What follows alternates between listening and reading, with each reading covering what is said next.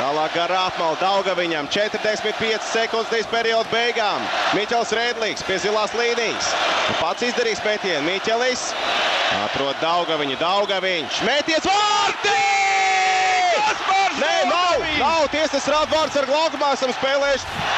Kā tad tā? Un vārtu gūms tiešām netiks ieskaitīts. Iemetiens neitrālajā zonā. Neticami. Tiesneši aiz ausīm izvelk.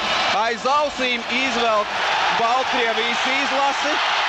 36 sekundes. Nu, pilnīgs ārprāts, kas te notiek, bet vārtu gūms netiek ieskaitīts. Arī Vasiljevs dodas pie tiesnešiem, mēģina saprast, kāpēc tā. Nu, skatāmies vēlreiz, Kaspars Daugaviņš.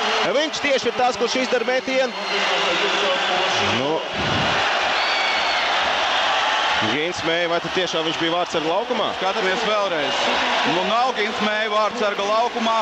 Tīrs vārtu guvums, tiesneši nozog vārtu guvumu. Nu, nerāda šo atkārtojumu Kubā, diemžēl. Tiesneši varētu paskatīties, vārtu guvums netiek ieskaitīts.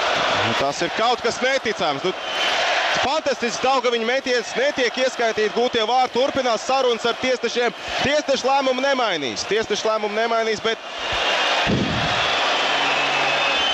Nu, Daugaviņš arī neapmierinās. Nu, tāda centība, tāds cīņas spārs. Vēl 36 sekundes ir mūsējo rīcībā.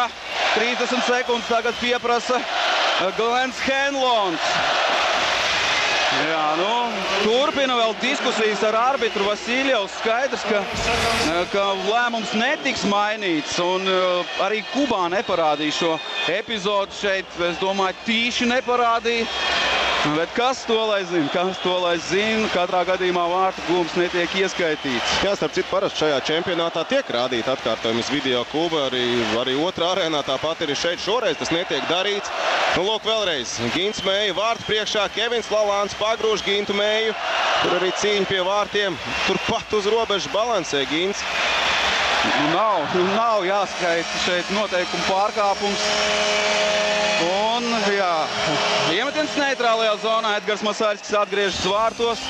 Um, turpinās spēlēt skaitliskajā vairākumā mūsējā.